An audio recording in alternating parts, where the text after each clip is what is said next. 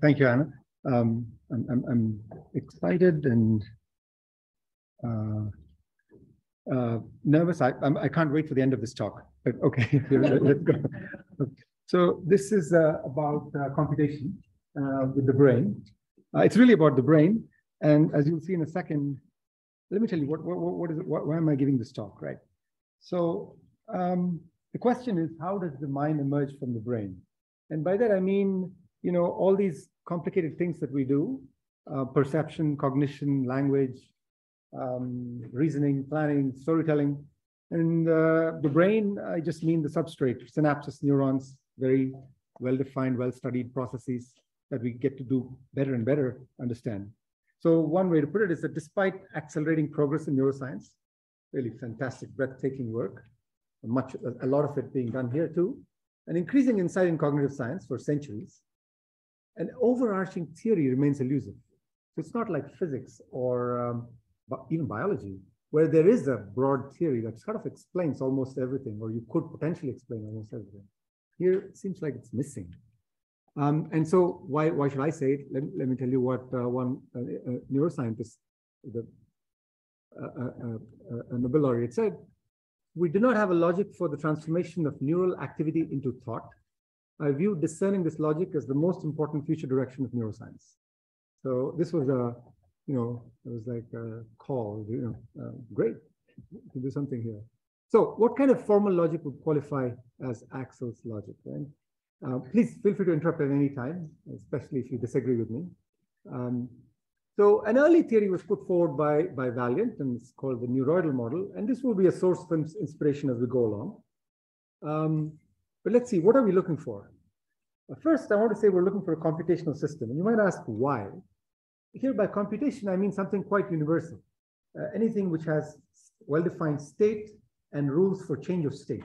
So we, we can think of planetary systems as, as computational systems in the sense that you know where the planets are, and then the next second or the next instant, they might be somewhere else because of they're following some set of uh, uh, uh, state rule patterns. So that, that's all we mean by computation. It doesn't have to be on your laptop. Um, consistent with the current understanding of the brain, so the system should not violate what we, we already know to be true, and it should explain cognitive phenomena. This is what we're looking for, ideally. So if you do have such a computational system, you know, it should have some kind of data types and operations. So what are these? This will be part of it. There's another question we have to ask. When we think about computation in the brain, what's the right level at which we should be thinking, or it's useful to be thinking? Do we want to think about the whole brain, where, where we do see phenomena? Do we want to think about spiking neurons and synapses, which certainly we can study very well, and there's very interesting activity? Even lower, dendrites. Fantastic studies coming out showing how dendrites compute complex functions of their inputs. Um, molecules, you know, there, there's uh, stuff going on right at that level, um, or somewhere in the middle. So with the assembly calculus is, is, a, is a proposal for this missing theory. And uh, it's a formal probabilistic model of the brain.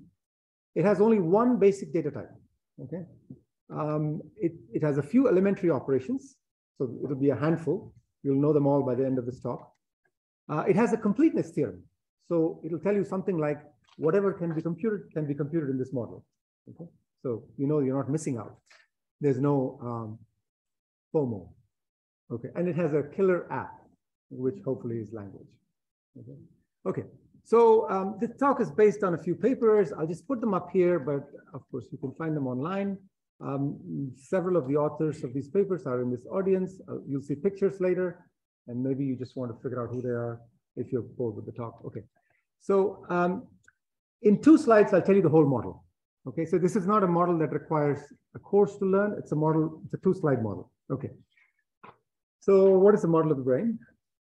There's a finite number of brain regions.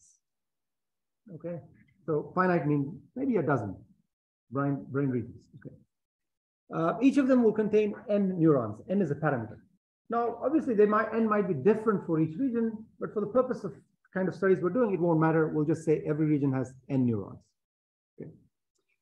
Um, now, there will be two very important uh, uh, mechanisms by which everything operates. The first one is inhibition.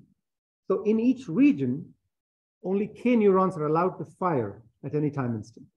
The neurons fire, you know, and the, and the, and the mechanism will take to be the most common one, which is that if the total input is above some threshold, the neuron fires.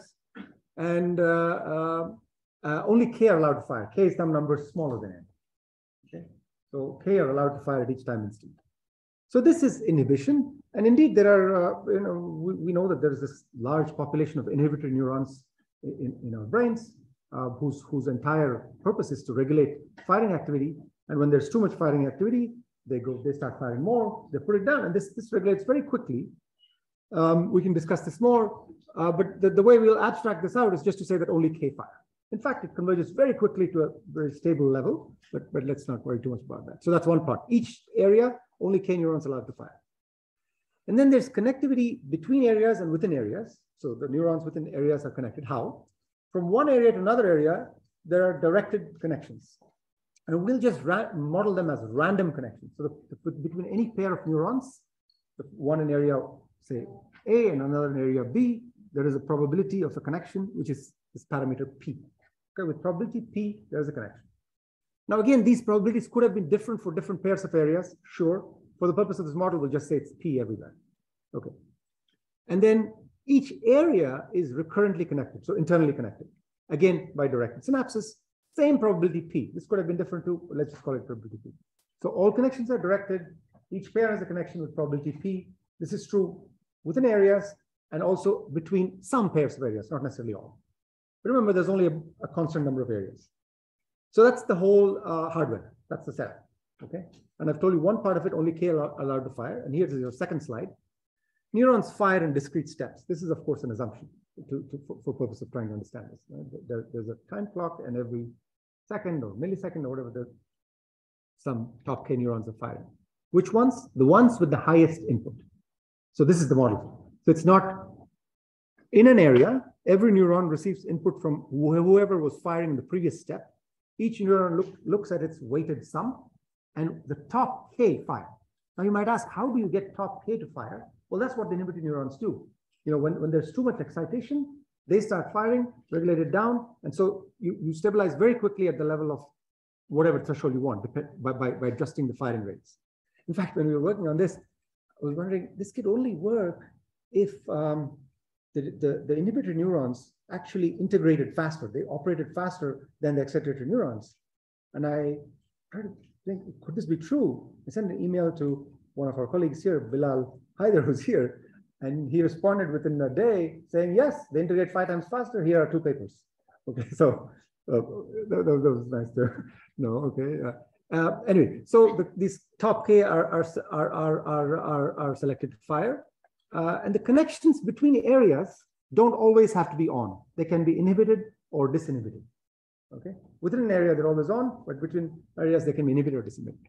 Okay, so that's that's that part. The, the second important thing is plasticity, and we'll use the simplest model of plas Hebbian plasticity, which is if a neuron I fires, and in the very next instant the neuron J fires, then the weight of the synapse Ij is is multiplied by a fixed one plus beta parameter.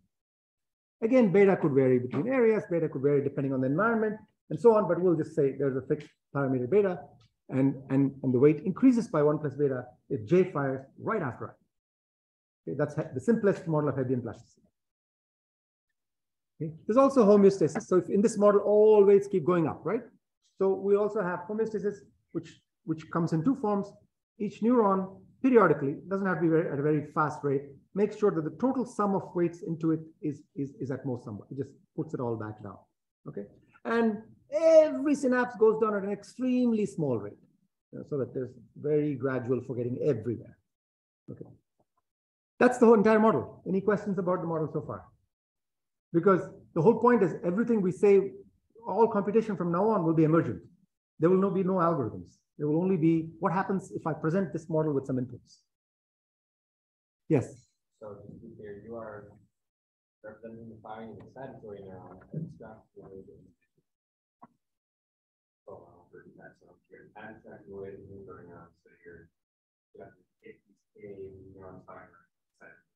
Exactly. So the N neurons are all excitatory.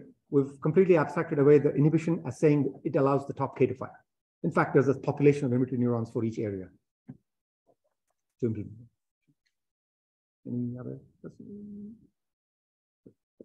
Great. Okay, so just to relate it back to, you know, if, if you're a real neuroscientist, then you might want to say, okay, what do these parameters look like? So if I'm thinking about something like the medial temporal lobe, we're talking about maybe 10 million neurons, you know, and, and the cap size 1,000 to 10,000 neurons are firing out of this, about square root of n. The synapse probability is pretty small, one in a thousand, and uh, the plasticity is also pretty small. That one is a little harder to measure, but this is some kind of average that, that I've been told. Um, uh, and so the main ideas of the model are randomness, selection or inhibition, and plasticity. The basic operation is just this random projection and cap. Random projection because the connections are random, and cap in the sense that only the top K fire. Um, and, and there's an online simulator, so, so you can try that out if you prefer. Um, so the next thing I want to ask is how realistic is it? Let's just, you know, because I'm sure it's on the minds of some people at least. It's reasonably so for a formal model of the brain. I don't want to give up on the rigor or the formality just to make sure that any conclusions we draw are actually valid for the assumptions we make.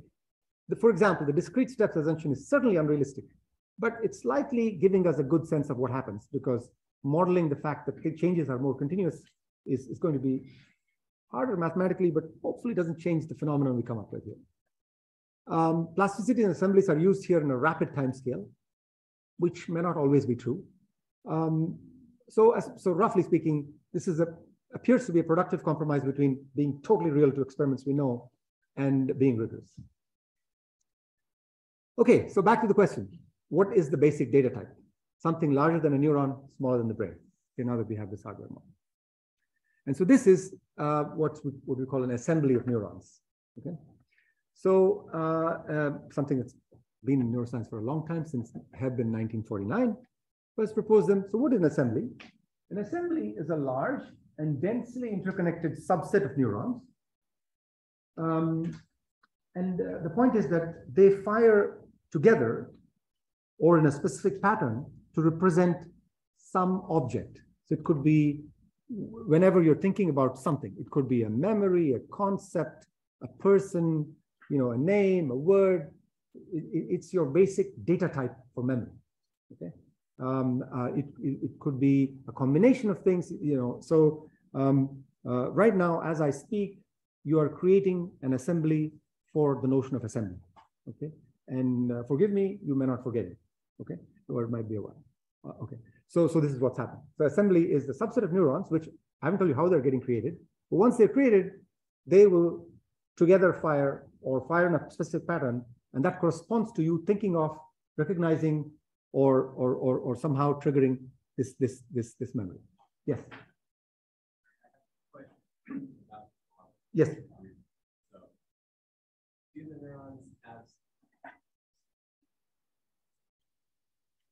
do the neurons have uh, spontaneous firing rates, or is it completely driven by the inputs?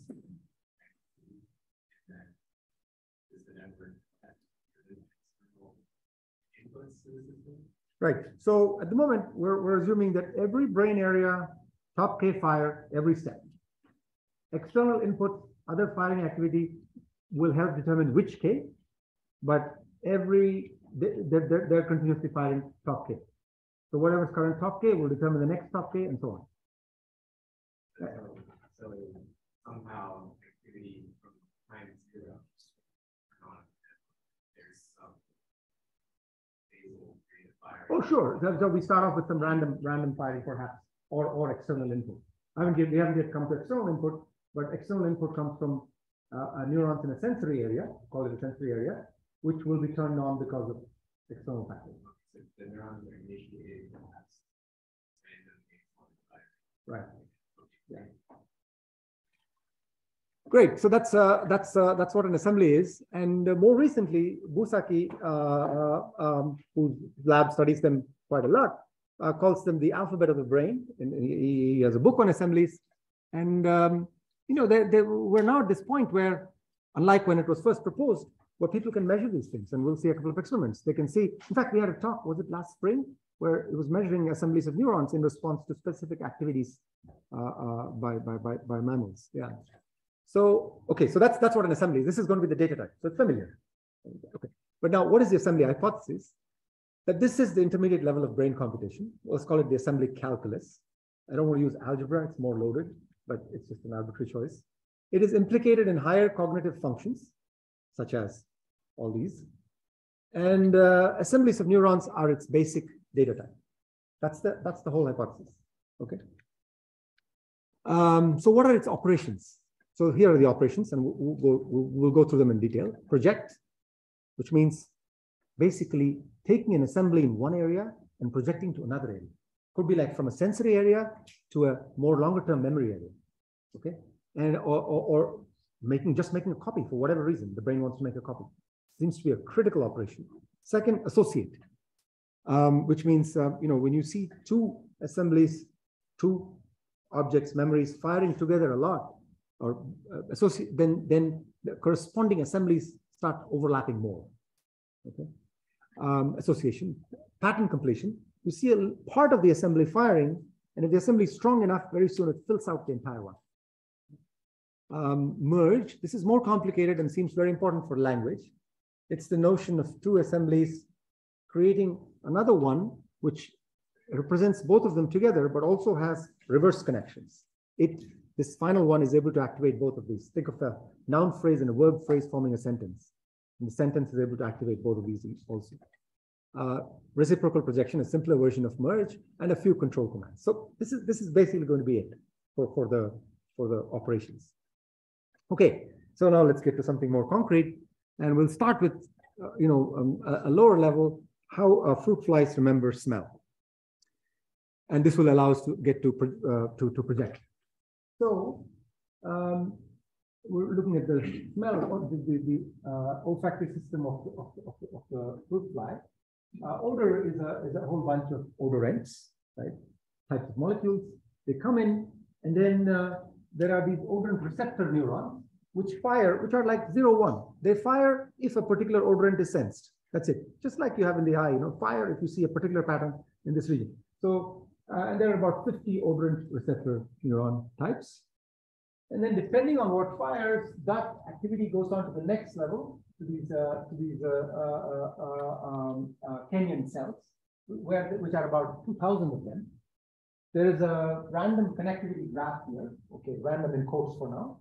Um, and then in these 2000, basically it's a winner take all or top cap, K cap operation, where the top 100, the 100 receiving the highest total inputs will fire.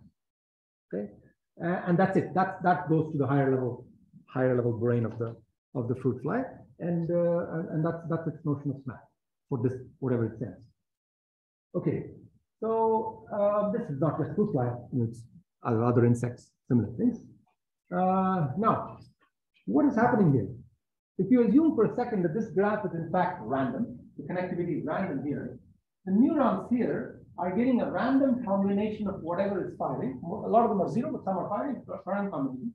And these are all basically independent random combinations. And out of those, you're taking the top K. Okay. Okay. Uh, so, you know, if you take independent random combinations many times, it's going to start looking like a, Gaussian. This, this, this binomial, yes. Yeah, just a clarification question. So the, the mean centering operation, is that over time or over rounds? Right. Um, uh, uh, what's observed is, is, is, is, over time. Yeah. Okay. So mm. you're just doing some like high pass filtering. That's it. Yeah. Right. Yeah. Yeah. Um, so this is not in this is this is this is what uh, they, they say is observed by the by, by, by, yeah okay so and then what you do is you take just the top the highest of these right the the, the top case this cap you have this Gaussian shower and you're just restricting yourself to the top K. Everybody else is zeroed out. Okay. Now, um, there's a question here. Sounds good. Before we get there, why should we believe this is random? Right? I mean, it's presumably it's at the birth of the of the fruit fly, but why why is it random? In fact, there's a paper that studies this carefully, and up to up to simple statistical test, it looks like a random graph, except that the distribution of the degrees on the left is not uniform. Some odorant receptors have higher degree. You know, you see them more often than others. But if you give me the degree distribution on the left and a uniform distribution on the right, it looks like a random graph. The connectivity graph looks random. Okay, this, this, this was, I mean, this is an empirical finding. So what, the, what, what can we say about this theoretically? Let's look at the left side. This is the odorant receptor side. This is the Kenyon cell side. There's some subset that fires corresponding to a smell. As a result, there's a top K that fires here. And then there's another subset that fires, let's say a different smell. And then you get a top K here. Fine. Okay. Here's a question that comes up and it seems to be important later on. Suppose these two subsets, the two smells, share a certain number of odorants, some fraction, an alpha fraction. What can you say about the resulting caps on the right hand side? You would like those to overlap as well, because then the fruit fly has a sense of, oh, this smell is like that smell, because there's a lot of overlap and therefore you get this. And the, the point is that this type of, you can imagine if this works, oh, let's use it in an algorithm for finding near neighbor searches, right? You, you have each smell is mapped to this random projection and cap subset of activity. You have a different smell, different activity. And now I get some new thing and I want to map it to a familiar one. Well, I'll map it to the nearest neighbor after this projection. So, so these guys actually did that on a, on a computer and uh, found that this fruit fly algorithm beats uh, state-of-the-art algorithms for nearest approximate nearest neighbor search on some data sets. So this has got these data sets have got nothing to do with neuroscience. They're just find nearest neighbors in a database. But but yet this very simple thing is able to practically beat them. So you know, evolution found something competitive here. Um, and now why? So the question is why? And so in 2018, you know, uh, uh, early days, um, we were able to show this. so this is what a formal statement of what's happening here looks like. Um, remember that we have cap A and B, which are subsets of size K, and they project to cap A and cap B. So if A and B overlap with probability with, with, with alpha, so the two sets A and B have an alpha fraction overlap, then their projections, if they were completely random, because you're just taking K subsets, the overlap would only be K out of N. Just linear, right? It's completely random. But instead it's K over N to the power of 1 minus alpha or 1 plus alpha, which is less than 1. So for example, it might be like square root of K over much higher fraction. Okay. Uh, um, and in the setting of the fruit flies, if there's a half overlap in, in the input, there's a one third overlap in the in the in the in the projections.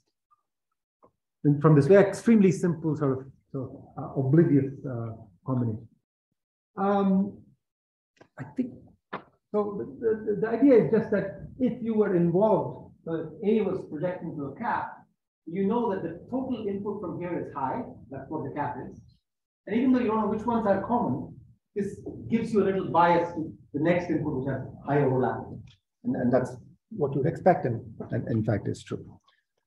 So uh, this is just a simulation, and indeed the theory, you know, uh, underlies, but doesn't quite reach how strong it turns out to be in simulation. Okay, so that's the starting point. Just the projection, no recurrent connections, no memories, no assemblies yet. And here's where we, it, it hopefully gets much more interesting. Does something similar happen in mammals? Yes, except that we also have recurrent connectivity and plasticity. And these two operations just take you, you know, much, much, much further along. Okay, as you'll see. So what does it look like for for for for for a mouse or for for me? Um, let's think of two areas. On the left is a sensory area. You know, maybe you're seeing something or smelling something, and there's some subset of neurons that fires. And as a result, somewhere else in a brain area, there's a top K because of whoever the, the ones that receive the most input, they fire. Okay, great.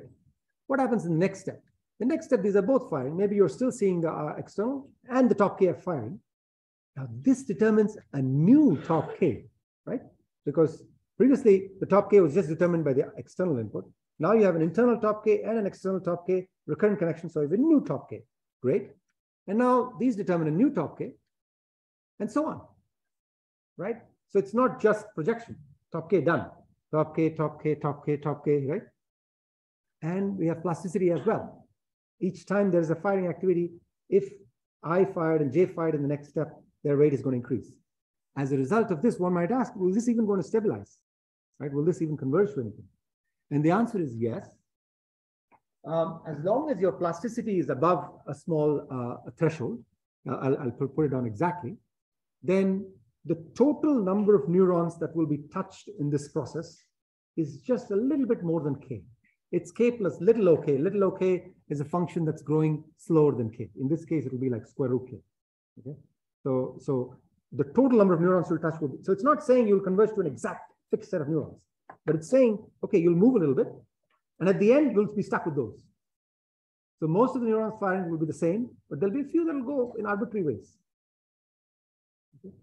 Uh, and, and, so this is an unusual fixed point theorem because if you go to mathematical literature, usually the fixed point theorem says you converge to a specific set or you converge to a specific distribution. Neither of those seems to be true in reality, and that's not what this is saying. either. Okay. Um, just to, in, in fact, as long as you have positive plasticity, there will be some convergence, although much weaker.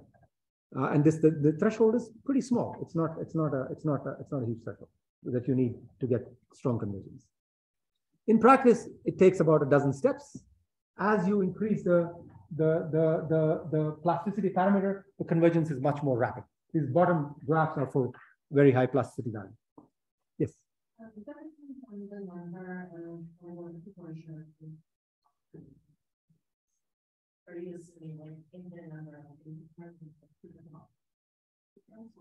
Uh, I'm assuming that K neurons are firing both in the input area and in the area in which the assembly is being created. So the numbers are K. So that we will fix them at K. In the input area, it kind of doesn't matter how many total neurons are there because it's just K firing. In the in the in this in the in the in the area where the assembly is creating created, it is important that it's K and N. The the parameters do depend on both. The the convergence depends on both K and N. And then P is the connection probability. So the the convergence is affected by the density of the area, the num the, the cap, and the total number of neurons. Okay, and um, the proof here is a bit more complicated because you have to analyze this, uh, what happens in the, in the next step and why should it even converge and what does it converge to? Um, uh, um, uh, there is a nice game between this huge pool of neurons that have never won and this um, set of neurons that have been in previous caps. And the analysis shows you how the number of new winners keeps diminishing till it becomes zero with high probability. Anyway, so I, I'll skip that. Um, okay, so that's projection and the creation of an assembly just by presentation of an input, right? This is a trivial problem on a computer. Store something in, in a location. But on, in the brain, very different. And, you know, it, it, without having to say store, it stores, creates a memory. Okay. Now, future presentations of the same or similar stimuli fire the assembly right away. You don't need to go through the whole, whole firing activity. What about firing the subset of the assembly itself? Yes, it suffices to have just a small subset fire. And what fraction needs to fire depends on how many times you've presented it. If you've presented it many times, then a smaller and smaller fraction of the assembly being excited is enough to ignite the whole thing in the next couple of steps. Okay?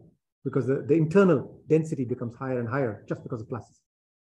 That's that's so that's that's a formal theorem. And uh, another thing that comes out almost immediately is the following. Suppose you see two stimuli uh, co-occurring, and, and, and they have their assembly representations internally. But if you see them together a lot, the assemblies overlap more over time.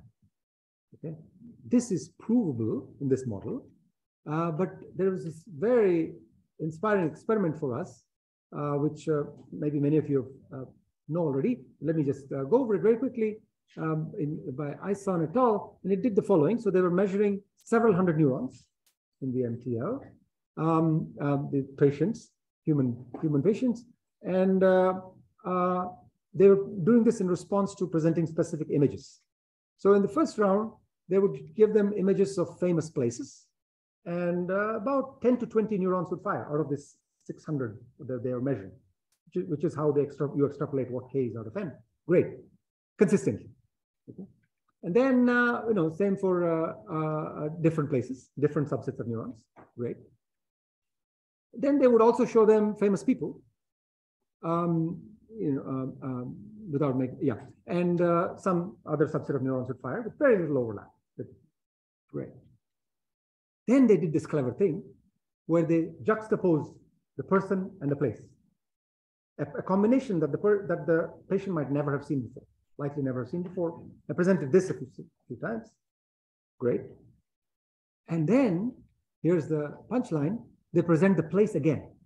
And this time, some of the neurons that previously fired only for the person are also fired. Okay, so with enough simultaneous presentation activity, these neurons are, these assemblies are overlapping more, you know, in observable empirical conditions. Now, this has been replicated uh, since, since this original experiment. Um, uh, uh, something stuck. I must have forgotten to say something. 85. Ah, here we go. Thank you. Okay. Uh, so this association does probably happen in this model. Merge is a more complicated operation. I'll, I'll skip it here. And just to recap the, the, the, the assembly calculus, uh, we have the projection operation, we have association, have pattern completion, merge, and some control commands. Uh, these are the three important ones. Um, activate an assembly, read what is being what is firing in an assembly area, disinhibit, which means from area A to area B, I don't want to allow any connections. The, the, the activity is not allowed to propagate. How powerful is the system? So what can you, what kind of computation can you do with the system? And the answer is it can do arbitrary square root n space computations. So one of the, the highlights of the theory of complexity, computational complexity, is that we have a universal model, you know, the Turing machine. Anything that can be computed can be computed on a Turing machine. And what this is saying is that anything that a Turing machine can compute in square root n steps, we can simulate in this brain model, in n memory, sorry, it doesn't matter how many steps it takes, square root n memory, it can be simulated in this brain model with each area having n neurons, and we're only talking about six areas, five areas, I forget exactly, a small number of areas. This is purely theoretical. It's no, I'm not proposing that the brain works this way, but it's just showing that there is a completeness there. It, it has the power to do it if you want. Um, and what does the program look like? It's not a program. It basically says, give me the sequence of inputs that correspond to the computation you want. And every once in a while, there will be this control command that says disinhibit area A to area B, inhibit area A to area B, that kind of thing. That's it. That's the type of program. Those are still bothersome, the control commands. It would be ideal if we didn't have any of those. And we're working towards that. You know, a, a model that's truly just driven by external and internal activity and no program at all. Okay, so in the rest of this talk, I want to talk about learning with assemblies. This is the brain's great trick, learning. Um, and moving away from this, for, for those that are more theoretically inclined, the model here said that the probability of an edge is P for every pair of edges. You know, this is the standard Erdős-Rényi random graph model. That we know that the brain structure is different. Is that provably useful? And so on. A little bit about language, uh, uh, um, uh human language. Okay. Yes. This is maybe a good moment. Um, I was thinking through all of this, how uncertainty might be captured in this model. So I'm thinking maybe there's overlap between two assemblies, let's say two phases that are kind of similar and might mistake one for the other. Is, is that how it works? Is that there's overlap between the assemblies? And, and how is that, because it feels a little deterministic aside from the randomness of the network. I feel like the output is yeah, very absolutely. So, so yeah, so so uh, uh, great question. So uh, first of all, yes, the overlaps, you know, there, there's all kinds of overlaps. And certainly while this explains how one memory leads you to another memory and so on, it's still quite deterministic, everything, except for the random initial randomness, right? The operation deterministic. Um, what we haven't modeled here yet, and seems like it's going to be very useful in the future, is that there is some amount of uh, uh, random firing activity, random in quotes, uh, independent of, of, of what is caused by previous, previous firing activity. And that should be enough to tip you over one side or the other to make this problem. So incorporating randomness, not in the definition of the graph, but in the actual operations, as in a randomized algorithm, uh, uh you know, uh, um, I think would be very important and interesting. Okay, so how do brains learn, right? Um, this is a crucial problem. Uh, the only mechanism we are, we are having here is plasticity the fact that the weight of a synapse is going up J fires soon after I. That's it. If you did it, if you ask one of my colleagues, they would say do gradient descent. Or why my, one of my colleagues, one of your colleagues, they would do gradient descent, right? You know, that, why would you do anything else? Does the brain do this? It's not clear at all. Um, so the, is synaptic plasticity an effective learning mechanism? Uh, Or how is it? Okay. Um, so what I'm going to show you next is how we can do unsupervised learning with assemblies. What do I mean by this? So far, we've had one assembly per type of input. Oh, excuse me. Yeah. We have um, two questions from the chat. Um, the first one is, how does the inhibition work? Are two inputs activated at the same time, or is there a time for using spikes? Right. So uh, in the model, no spikes, just fire or not fire at every step. Inhibition is abstracted away as saying that um, in each area, K neurons fire at each step. And those K neurons fire simultaneously. So it's discrete time steps. Yes. Does the timing and frequency of Ah, firing? good. So, uh, you said that, uh, you only care whether it fires or not, it's a binary thing. But, uh, in reality, does the timing and the frequency of firing also matter? Oh, in neuro, in in in in in uh, experiments, of course. I mean, the, the the bursts of activity are very different from uh, neurons to neurons based on what is going on, and uh, the model hasn't reached the point where it's able to usefully distinguish different types of burst neuronal firing activity. Yeah. Um, So we had a clarifying question on the last one, which is, um, if two assemblies are active, then two times K neurons are active as a result. Okay, so each area can have one assembly firing, can have K neurons firing. Could be an assembly or not, but each area can have K neurons. So if you have a dozen areas, there could be a dozen assemblies firing one in each area. And then I have one more question for the chat, which is, how small can an assembly be? I'm wondering if obese place cells where a single neuron fires in response to a stimulus would be a one neuron. Yeah, but it's, it's a great question. In this simplified model, everything is just K. You know, the, an assembly size is also K. Uh, up to K neurons are allowed to fire. Um, but of course, you know, it's, yeah. So, so I have a more uh, lengthy response to how size of assemblies should and be allowed to vary, but, but, but uh, maybe I'll hold that for. Okay. Okay, so uh, so so far one input. You know, I see I see Hannah. I create an assembly. Great, right? Uh, I see Ming. I create an assembly. Great, but I want to create an assembly for uh, female neuroscientists. Okay, or uh, I want to create an assembly for uh, you know something else, boxed lunches as opposed to each kind, right? So an assembly for a category, and we do that automatically without special intervention, right? Cats, dogs, and then oh, I'm seeing a cat, not a dog, whatever, right? This is the famous uh, uh, machine learning experiment. So can we have assemblies for clusters, well-separated clusters of data? Um, that's what we'd like, right? And so here's the experiment. We're going to draw inputs from some nice distribution and uh, project to a single area. There'll be two different classes, or they could have more than two classes, classes of distributions. Each class will have a preference towards some, some uh, uh, patterns, okay? So, uh, and I'll tell you exactly how. So we'll just see five examples from one class presented to this model, and then five examples from another class, five examples from third class, and so on. And at the end, what you're going to say is, give me a new example from one of the classes. And you want, what you want is that after having seen the examples, you've created one assembly per class. And when you see a new example, the correct assembly fires. The corresponding, that's what you'd like, with no further manipulation. Okay, so, so that's what happens actually. And um, the overlap between the, the ones that actually fire within a class becomes you know, over 98% in these small experiments. And the overlap between uh, um, uh, firing activity for different classes becomes extremely small. Let me make this a little bit more precise. So what is what do I mean by stimulus class? It's a distribution over zero ones, right? Well, uh, you know, n possible sensory neurons, and uh, there is a core set which we'll call this this uh, uh, uh, core of the stimulus, where your that represents you know those are the features that are more likely to be on for this stimulus class, say for cats. And the rest of it could still be on, but with a smaller probability. Okay, so about half of your neuron or constant fraction will come from this core set, the rest will come from the rest.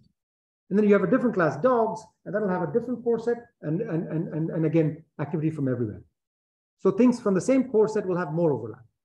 And so if you have this, then with again, with sufficient plasticity, you'll get an assembly And now a new stimulus will take you to the correct first cap.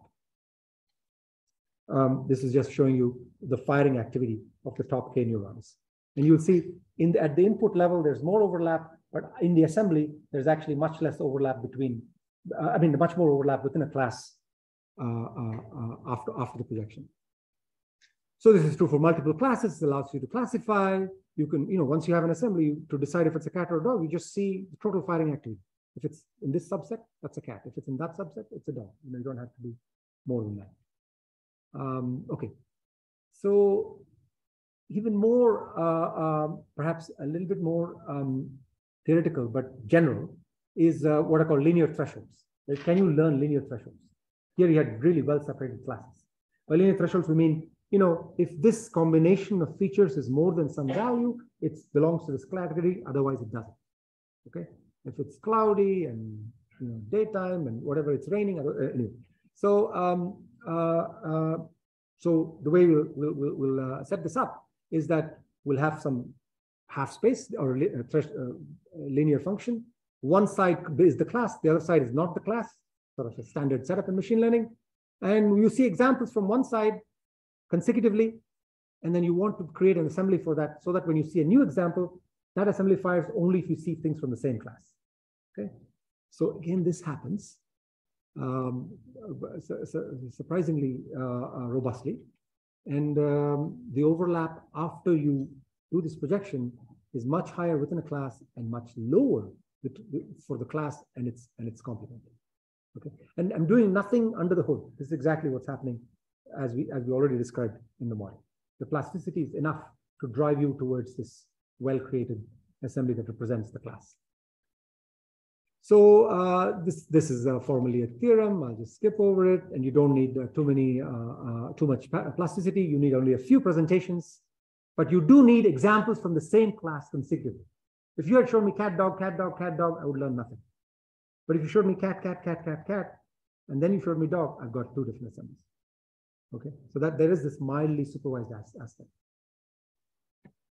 Okay, now uh, I have a few minutes left, but this is perhaps this current work that seems to be quite exciting. One of the brain's great uh, abilities is, uh, or, or, constraints is sequences. You know, we seem to do very well with sequences and, and how we do things. So here is a toy experiment. I'm going to present not one stimulus, but a sequence of stimuli. A, B, C, D, okay, right? And, and in the input area, and present this a few times. To play the song a few times. Okay. What we'd like is that in your projected area, there should be a sequence of assemblies. Moreover, if I play the first one, it should just play out the rest without presenting the input, right? Now, like you've memorized the pattern. Or if I play the fifth one, if I tell you D, there's a D, E, F, whatever, you can play out the rest. And indeed, that uh, is exactly what happens. And um, uh, theoretically, at least. Now, what I want to do is actually switch to a little demo. I'll give you, a, I think we have a few minutes, right? Yeah, okay.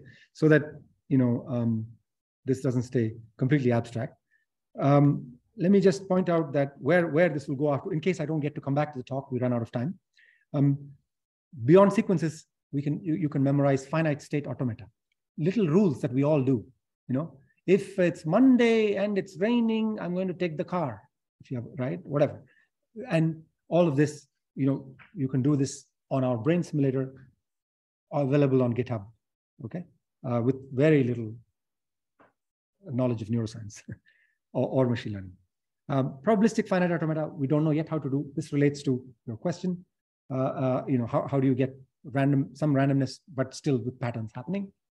What we can do is simulate a general Turing machine now without control commands. And we don't need this disinhibit inhibit. We're going to just present sequences of inputs and the hardware will let you compute what you want. Okay. Um, okay.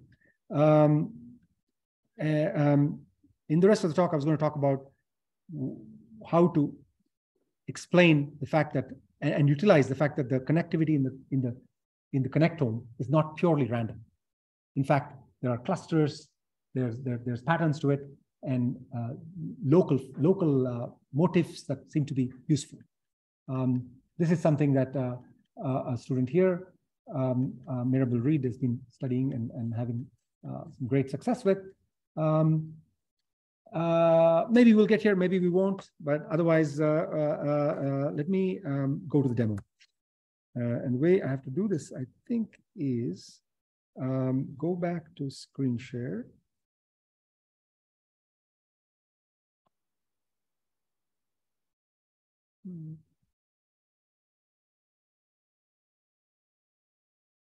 And I want to share. Okay, hopefully, hopefully you can see this um, online too. This is just a Jupyter um, uh, notebook with uh, some simple code. And you see, this is setting up a brain.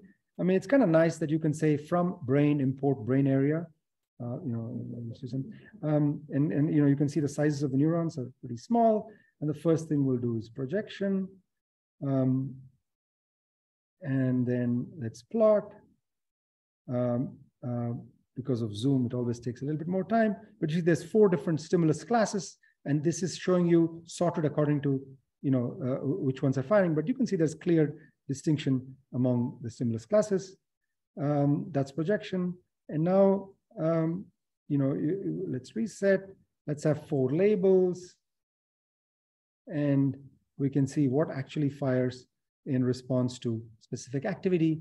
And you get this. This, this is after presenting basically five stimuli each from each class. Okay, great. Um, th those are the those are the stimuli, and then we we will present these and look at what uh, the training was done already. This is this is what actually got. Th these are the this is the firing activity, the corresponding assemblies in the thousand area, thousand neuron brain area. Okay, um, now you can uh, test it. You know, is it actually going taking you to the right uh, to the right uh, assembly when you give it a new input? And yes, it is, I mean, as you would expect, because the, the assemblies are so consistent. Um, uh, you know, these accuracy will be the same, so I won't print them. Uh, half space test, we we we we did this. Um, maybe I'll skip the half space test um, and go instead to uh, sequences. This is what the half space test looks like. I presented five examples from one half space. So it's you get this consistent assembly. When you give it an example that's not from this, you just get a distributed firing and not from the assembly. Okay, so it's able to say, you know, elephant or not elephant. That historically in machine learning, elephant and non-elephant is a very important example. I think that's the reason PAC learning took off. But anyway, um, uh, okay, so sequence learning. Okay, this is what I just claimed. Uh, let's define a sequence. And we're going to present the sequence just 10 times. So A, B, C, D, F, G, A, B, C, D, F, G. Okay. And it's a, it's a sequence of length 10. It's not trivial. Okay. Now, uh, let's plot the input sequence as well as the uh, sequence that was actually created. Uh, this will take a second, mainly because of Zoom. If you do it on your laptop, it'll be instant. Um, I'm happy to take questions, of course, but here it is. This is the input sequence. You know, we've defined these. Uh, these are the these are the A, B, C, D, E, F, G corresponding sensory area neurons. This is what has been created in the in the brain. There is some overlap, you notice, but it's mostly distinct. Okay, uh, so that great. Now recall, which means I just fire the first one and ask what happens in the brain if I fire just the first one in this brain area, I should say.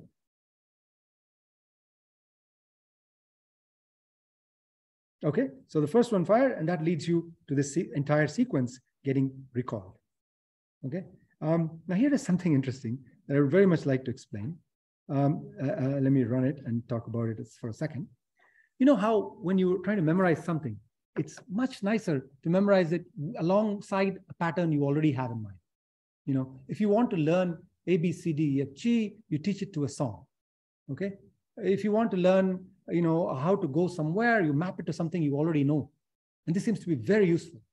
It seems like we can actually, in this model, explain why that's the case. Um, here, what we're going to do is instead of copying, instead of presenting the sequence and creating an assembly in just one area, I'm actually going to have it in two areas. Okay? And they will scaffold each other. And, and as a result, it'll turn out that the recall is more accurate, measurably even here, and you need fewer presentations. Okay, Just in this, at this level of experiment, yes. Some of the questions in the chat, um, about the sequence learning. Yes. Um, Is sequence recall happening without recurrent connections? And is this a feed forward? Oh, uh, no, no, uh, recurrent connections are crucial throughout this entire presentation. So within the area, we have recurrent connections. Uh, um, uh, what's happening is that when you present these A, B, C, D, E, A has its assembly, B has assembly, but because B came right after A and assembly B fired right after assembly B, the connections are getting strengthened so that when you let it loose, A fires B, fires C, fires D, that's what's happening. And what all I'm showing in this scaffold uh, uh, experiment is that because you've created, you know, from your original sequence A, B, C, D, E, you've created assembly A and assembly, so this is A1 and A2 and B1 and B2, but you've set up connections like this as well. When I fire just A1, the auxiliary setup is helping you fire this more accurately. And, and even in these small experiments, it's about a factor of two more accurate. So yes, it's better to teach your child the alphabet with a song. Uh, science proves, yeah, okay, okay. um, okay, um, now there's more here uh, about copied sequences and how well it does. Let me skip to maybe the most uh, state-of-the-art experiment that uh, Max has uh, gave me, sent me last night. Okay, this is on the notebook. So finite state machine. I'm going to imprint a finite state machine in your head. How? Just by playing out its activations. That's all. I will tell you, if you are in this state and you see this input, you go to this state. Okay, we'll do that for each arc of this finite state machine. For example, this one which counts, which which which checks whether a given string has an even number of ones. Okay, and how do we do it? We just play it one arc at a time. These are the transitions. And we're creating internally assemblies one per arc. That's it. No, no pre preset things. And now we're going to give it a new string and it should accept only if it has an even number of even number of uh, ones, uh, zeros. I forget which one, whichever it was, zeros. Okay, so you see this? The string was one zero zero one zero zero one and one zero zero. So it had four zeros. So it should accept. And look at the firing activity. It changes state whenever it moves to a different uh, number. And indeed, at the end, it was back at this state, which is even, so it accepts. Um, uh, and you didn't have to do anything except play out the arcs and it memorized the finite state machine for you. Okay.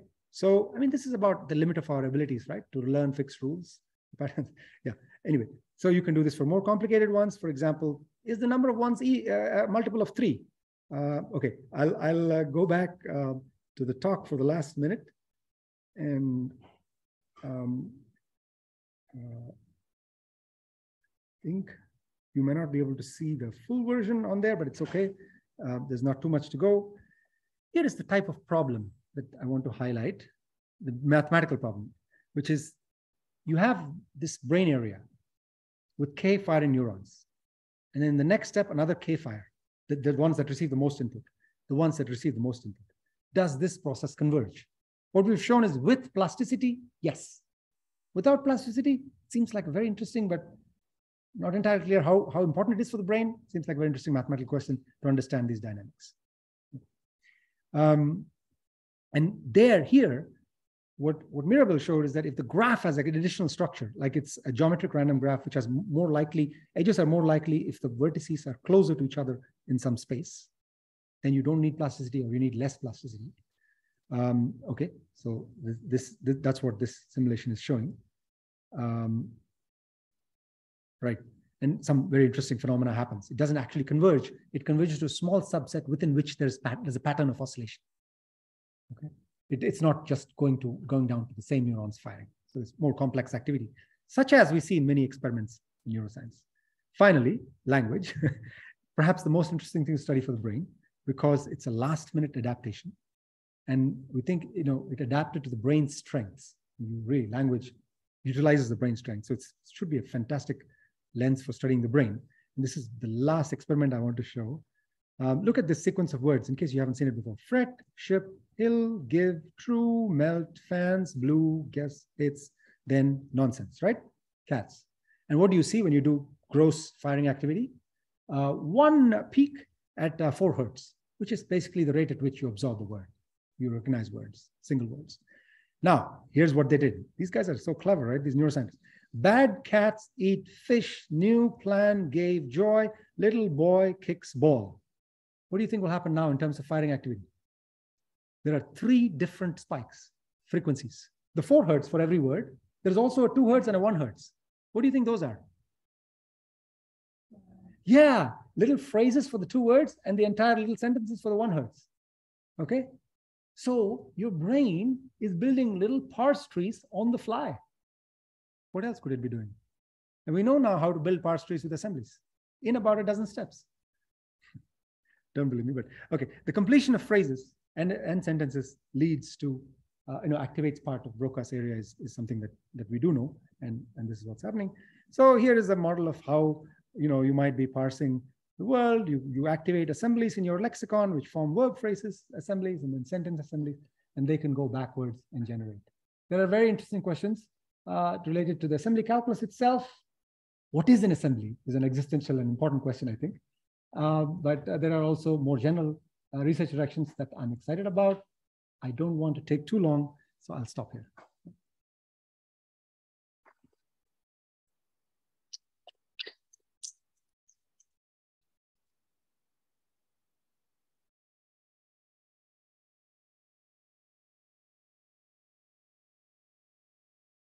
Thanks very much for that. Thanks for making it understandable to the. Um, so coming back to the earlier question, we talked about the probabilistic part of the network, but still the output of the network would be, it would get classified, right? And I'm curious about situations where you say, oh, I think that's an approach, but I'm not, but I'm fifty percent sure it's it. It could be someone else, I'm not sure. But we attach confidence levels, things that seem a little squishy. Yeah, excellent. Yeah. So in fact, you know, there seems to be this whole predictive nature to how our brains work. Like we always have this model of what's what's happening even before we have it, right? So mm, one example that struck me a lot is how we actually parse an image. You know, there's this constant saccading where we, we, we, we eye look for another eye, look for a nose, look back to the eye. And there is some variation in how exactly even you do it same time. Uh, what I think the way to go to adapt this, the model currently doesn't have this probability built in. But I think there's a simple way to do it, which is to have basically a small number of neurons or small uh, probability of firing activity for all, all over the place. It seems to be the simplest way to do it. So that if you have closed ties where you're unsure, it's just randomness that's for letting you choose one way or the other. That seems to be like a benign way to do it till something more compelling.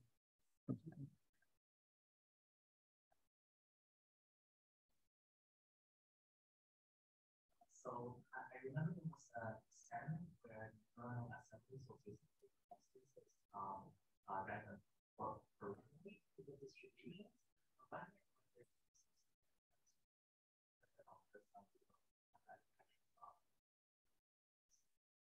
Oh, good. Yeah. So, so the, the what I showed you with stimulus classes, you can run on MNIST, with the, the digits, and it will give you 96% um, accuracy.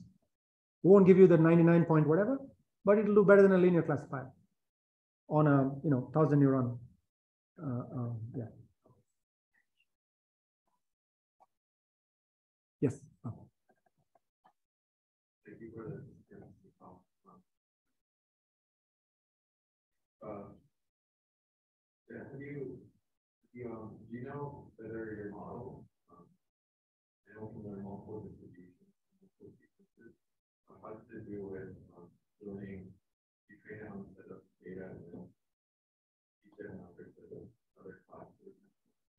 How it with other members? Right, right. So good. Yeah. So so it's it's a it's a matter of how much plasticity you used in the first place and how different the next uh, distribution is.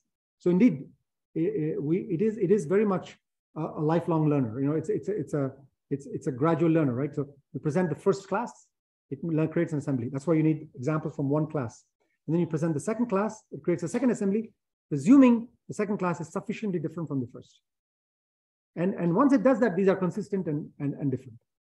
But if the second class is close enough to this, you can have a mess where it both under, yeah. One more question. You us the convergence theorem where if you have a randomly initialized different network, they'll converge to a single assembly. Is it, is that always a paper or it Yeah, so what we can prove is the following. So it's, it's a very interesting question. Um, that, you know, your, your, your only K neurons are allowed to fire. It's not that it converges to a subset K and that's it. What happens is that it converges in such a way that the total number of neurons that will ever fire over time is K plus a little bit. Okay, so which means that the same set of neurons are firing most of the time because K are firing every time. And there's a few neurons that are in an arbitrary pattern, which we don't know the pattern of. Now, in fact, what's been observed is that as you reduce the plasticity lower and lower and even make it zero or, or close to that, you can have uh, convergence to different types, like two subsets, A, B, A, B, A, B, with a little bit of outside. And exactly when that happens and under what conditions is, is, is unclear.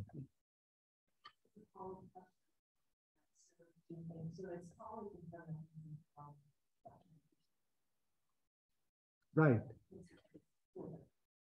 Maybe, yeah, I don't know how to connect it at least. Yeah, it was. In the back.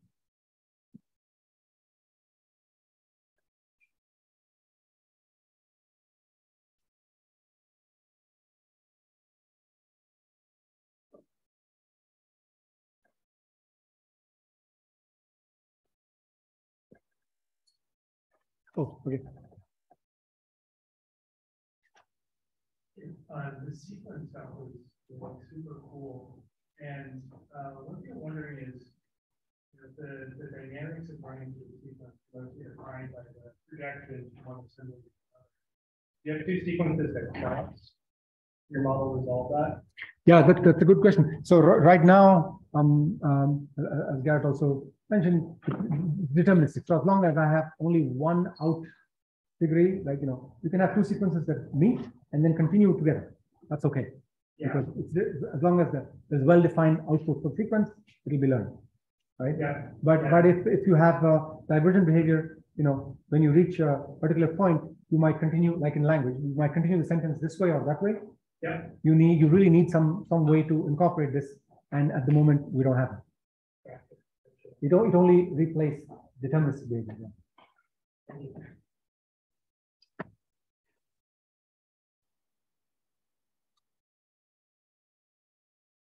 Um, the question in the chat is that, uh, we're using firing rate neurons. And what is the synaptic?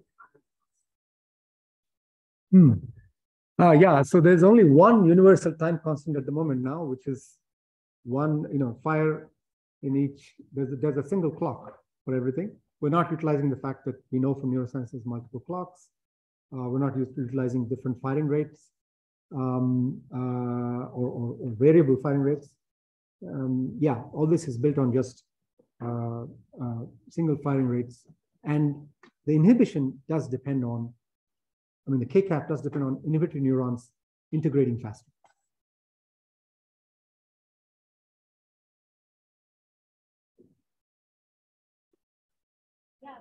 Konzentration.